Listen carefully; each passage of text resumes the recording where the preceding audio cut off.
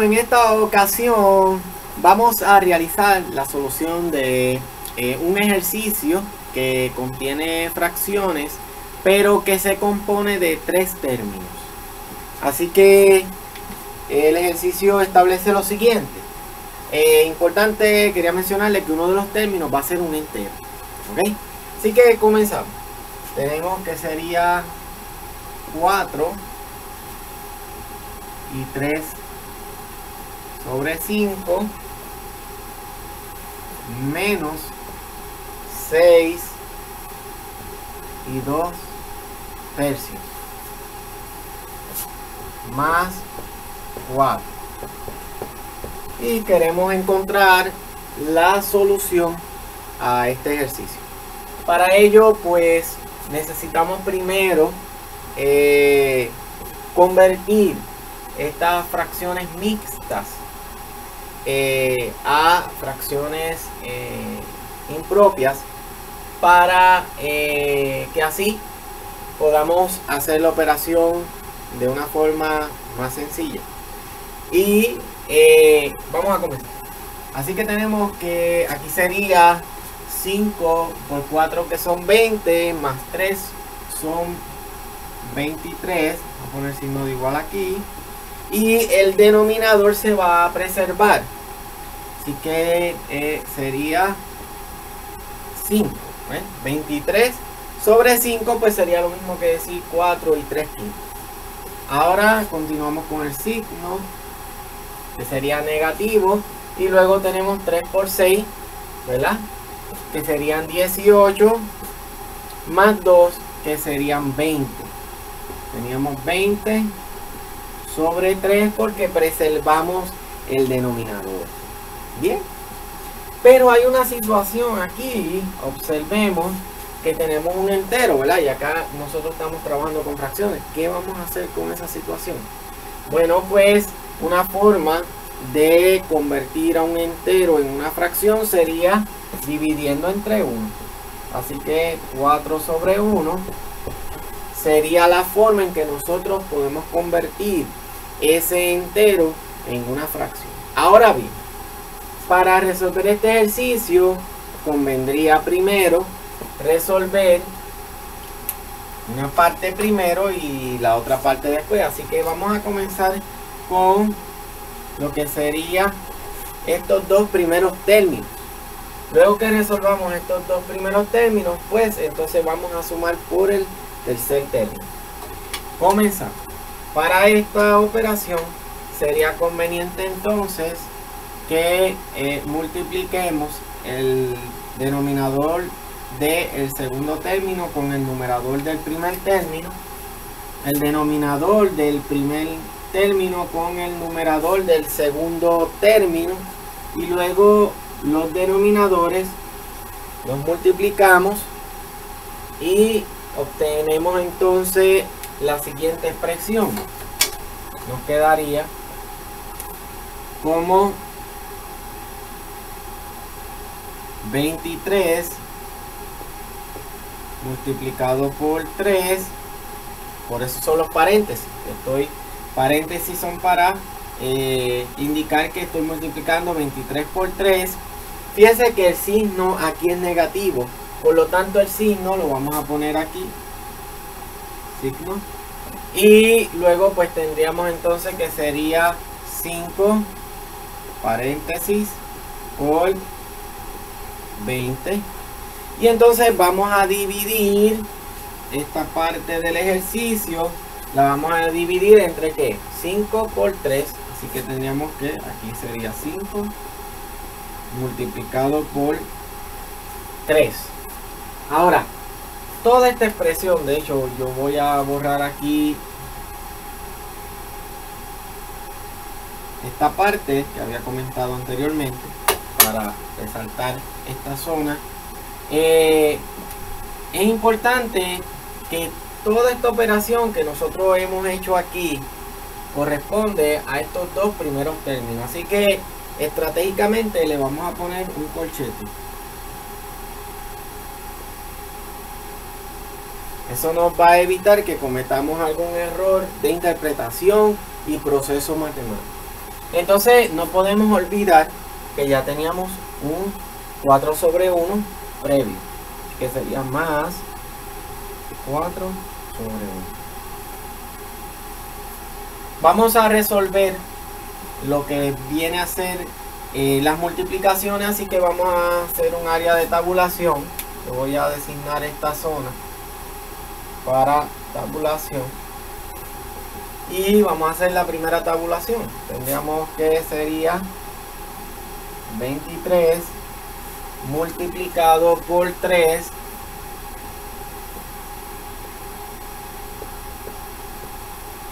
y eso pues sería lo siguiente. 3 por 3 que sería 9 y 3 por 2 que sería 6 eso nos da 69 Así que nosotros vamos a reescribir el 69 aquí, que sería este primer valor que necesitamos.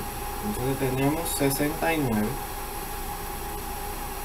Eh, observemos que tenemos un signo negativo aquí. Lo vamos a reescribir, pero tenemos que 5 por 20. Así que vamos al área de tabulación y escribimos entonces la, la nueva tabulación que vamos a hacer que sería ubicar el 20 arriba, el 5 y multiplicamos 5 por 0, 0, 5 por 2, 10. Así que el valor que hemos obtenido de la tabulación corresponde a, este, a esta zona numérica. Lo vamos a escribir aquí. entonces esto nos daría, sería 100 vamos a resaltarlo entonces eh, tenemos la división así que vamos a hacer la división aquí. Y 5 por 3 serían 15 bien. Y ahora nosotros podemos ya una vez nosotros hemos eliminado estos paréntesis que tenemos aquí y habíamos utilizado un corchete para no repetir el uso de el paréntesis es una forma de, evitar confusión pues ahora ya no necesitamos utilizar los colchetes porque hemos salido de lo que eran los paréntesis. Por lo tanto ahora podemos ponerle paréntesis aquí y aquí. Y eh, podemos sumar 4 eh, sobre 1. Como el espacio acá en la pizarra no puedo continuar hacia abajo, yo voy a continuar este ejercicio aquí arriba. Por lo tanto voy a borrar esta parte de la pizarra. Pero eh, si usted desea ver los procedimientos anteriores, pues simplemente puede darle retroceso al video y entonces así recuperar lo que previamente está escrito aquí. Bien. Continuamos. Así que para yo continuar este ejercicio,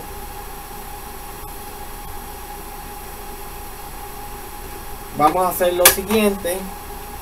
Yo voy a reescribir eh, lo que hemos encontrado hasta este momento, lo que hemos desarrollado, lo voy a reescribir aquí de manera que siga eh, desarrollando el mismo gradualmente. Tenemos que sería igual a 69 menos 100 dividido entre 15 y eso más 4 sobre 1 ahora ya puedo borrar aquí. Vamos a borrar esta parte. Porque hemos reescrito lo que teníamos previamente establecido en esta zona y continuamos. Bien, el próximo paso que nosotros vamos a hacer es resolver lo que está en este numerador. Y vamos a ir al área de tabulación que hemos designado para eh, hacer nuestro cómputo manual. Y observemos que eh, vamos a ubicar arriba el número mayor, en este caso es 100, con su correspondiente signo, porque es negativo y el 69 que sería positivo Cuando es positivo, pues, pues eh, no lo escribimos y se sobreentiende que el número es positivo. Entonces, ¿qué tenemos? Que 0 menos 9 no lo puedo restar. ¿Verdad? Por lo tanto, le voy a pedir prestado al del lado, pero resulta que el número del lado es 0. Por lo tanto, no puedo eh, pedirle prestado. Por lo tanto, tendría que pedirle prestado al 1, por lo tanto, eh, se me convertiría, eh, se eliminaría el 1, se me convierte este 0 en, sería en 10. Voy a escribirlo aquí un poquito más grande. En 10. Y entonces le voy a pedir prestado nuevamente. Se me convierte a 9. Y aquí le pido prestado al, 9. Que previamente había prestado al 1. Y este pues se va a convertir a 10. Ahora. 10 menos 9. Ahora sí puedo resolver. 10 menos 9 sería 1. Y tenemos entonces que 9 eh, eh, menos 6 sería entonces 3. Y el valor pues sería 31, pero no hemos terminado porque resulta que el número que estábamos analizando en el procedimiento de esta, de esta suma, en este caso eh, es negativo.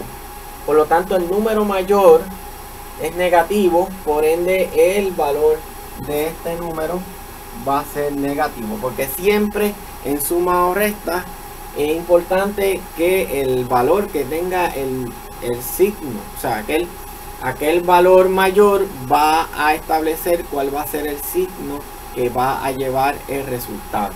Por lo tanto, en este caso, como el 100, que fue el que utilizamos, tenía el signo negativo, pues ese es el signo que vamos a utilizar, negativo. Entonces sería negativo 31. Y ese negativo 31 es lo que vamos a escribir en el numerador. Así que tendríamos aquí negativo 31. Y ya previamente teníamos 15, así que sería sobre 15 más 4 eh, sobre 1. Bien, ya en esta etapa nosotros hemos resuelto esta parte del ejercicio. Vamos entonces ahora a resolver estos dos términos para hallar la solución. Ahora lo que tendríamos que realizar sería la siguiente operación. 1 se multiplica por 31, el 15 se multiplica por el 4 y el 15 se multiplica por 1. Y procedemos entonces a realizar la operación tendríamos que 1 eh, por negativo 31 sería negativo 31 más, fíjese que el signo prevalece, signo que está aquí es el que establece el, el signo de control en el proceso y fíjese que tenemos 15, 15 multiplicado por 4, vamos a hacer la tabulación aquí tendríamos 15 que iría arriba por 4 entonces tenemos 4 por 5 que son 20 llevo 2 4 por 1 4 más 2 sería 6 así que aquí esta multiplicación me daría 60 dividido entre 15 por 1 que sería muy bien 15 bien finalmente lo que tenemos es que realizar esta operación de, eh, de resta. Así que vamos al área de que hemos designado para tabular. Y escribimos siempre el número mayor arriba. En este caso 60 es positivo y negativo sería 31 por lo tanto 0 menos 1 no se puede tenemos que pedirle prestado al 5 le tenemos que pedir prestado al 6 y nos queda 5 corrigiendo eh, así que el 6 se convertiría en, en 5 porque le pedí prestado para el 0 y el 0 se convierte en 10 ahora sí porque 10 menos 1 sería 9 y 5 menos 3 sería 2.